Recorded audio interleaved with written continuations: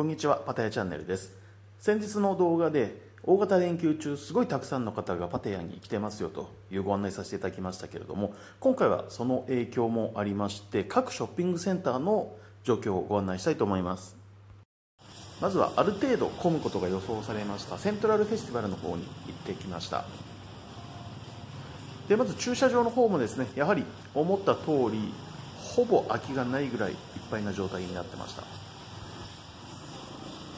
地下1階の入り口から QR コードでチェックインして中の方に入りました。何か催し物がやってたようなのでそちらの方を見に行ったんですけどもちょうど終わったところでした。太鼓をですね演奏してたようです。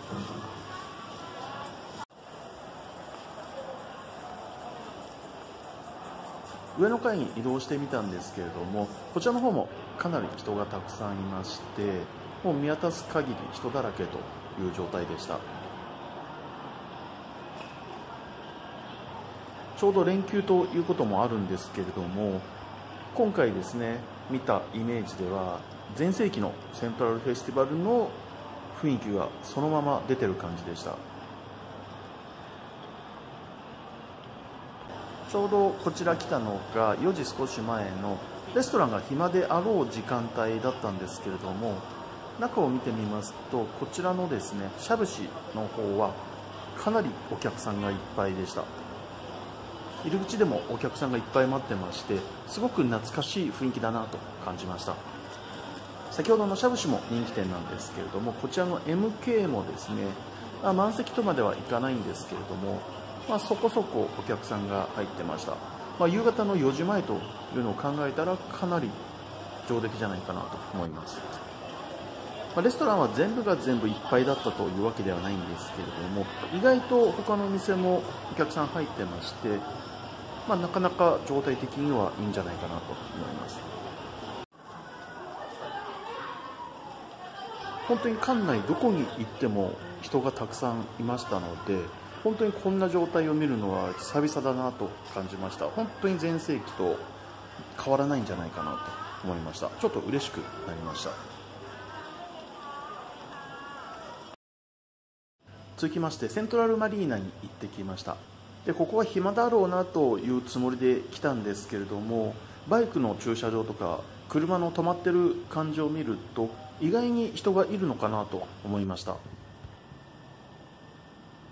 正面に回ってみたんですけれどもこちらの屋台は開いてなかったんですけれども多分夜は開くんじゃないかなというような雰囲気でした。また機会があれば夜に来てみようかなと思います。でこちらのショッピングセンターにはすき家がありまして結構そそられるメニューがたくさんありますけれどもなんかですね行くタイミング常にお腹がいっぱいの時ばかりでなかなか食べるチャンスがない場所になります。そしてフードコートの方から見てみたんですけれどもこちらの方もですね4時前後ということでガラガラでした。もっと昼時に来たらもしかしたらお客さんもうちょっといるのかなとは思うんですけれどもちょっと予想以上に人がいませんでした。奥の方も、まあ、ちらほらと少しはお客さんがいるんですけれどもやはり先ほどのセントラルフェスティバルと比べると運転の差で静かな雰囲気でした。上の階に子供が遊べる遊具があるんですけどもここは少しお客さんがいました。2階の売り場も少しはお客さんはいたんですけれどもそんなに買ってる雰囲気はありませんでした。こちら3階の映画館なんですけれどもこちらの方もオープンしてましてお客さんも少し入ってました。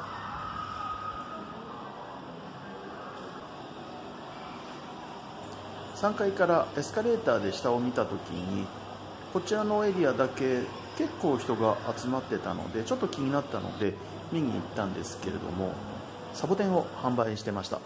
めちゃめちゃ安い金額で販売してまして一番安いのはですね20バーツから1個ちっちゃいのが売ってたんですけれども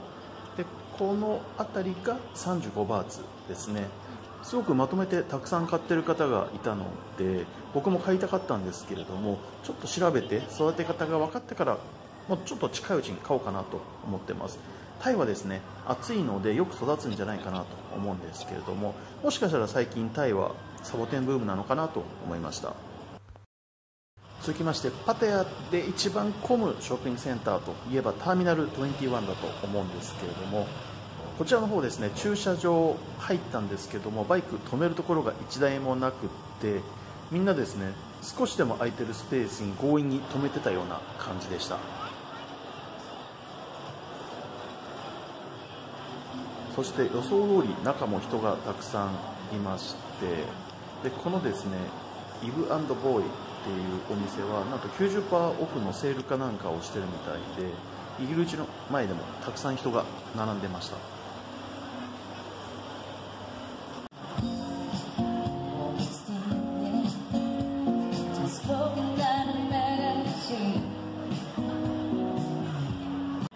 各ショッピングセンターそれぞれいろんな催し物とかもやってましてなかなか盛り上がってる雰囲気になってました。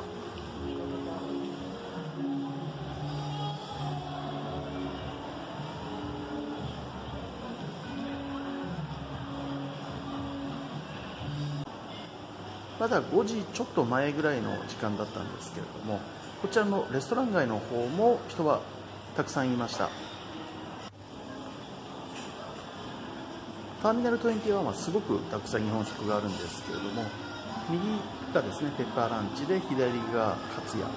でもうちょこっと左に行くとやっとオープンしました丸亀製麺があります。これらのお店も何組かお客さんが入ってました。そして僕が一番パテアでおすすめのフードコートがこちらのターミナル21の中にあるフードコートになります。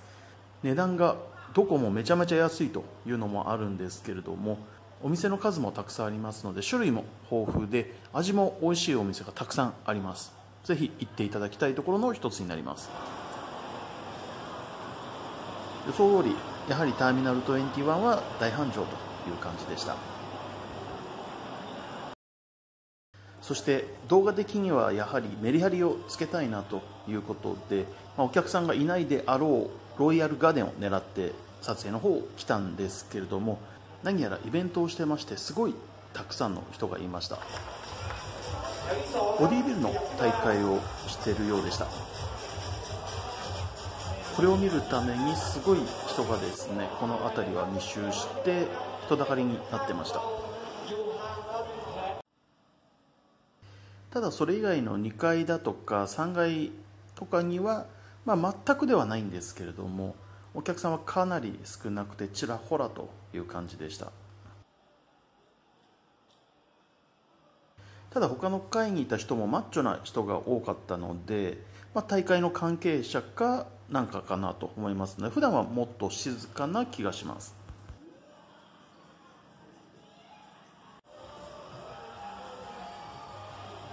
そしてめちゃめちゃびっくりしたのがこちらになるんですけれども警備員の人がですねもう死んだように爆睡してるなと